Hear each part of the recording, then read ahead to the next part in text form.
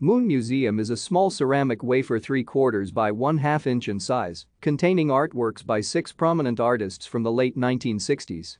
The artists with works in the museum are Robert Rauschenberg, David Novros, John Chamberlain, Claes Oldenburg, Forrest Myers and Andy Warhol.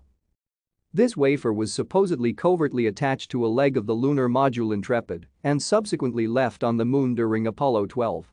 Moon Museum is considered the first space art object while it is impossible to tell if Moon Museum is actually on the moon without sending another mission to look, technicians have admitted to placing personal effects onto the Apollo landers, hidden in the layers of gold blankets that wrapped parts of the spacecraft which remained on the moon after the astronauts departed. The concept for Moon Museum was brainstormed by sculptor Forrest Frosty Myers. He stated that my idea was to get six great artists together and make a tiny little museum that would be on the moon. Myers attempted several times to get his project sanctioned by NASA. Thank you for watching. Like and subscribe if you would like to view more of our videos. Have a nice day.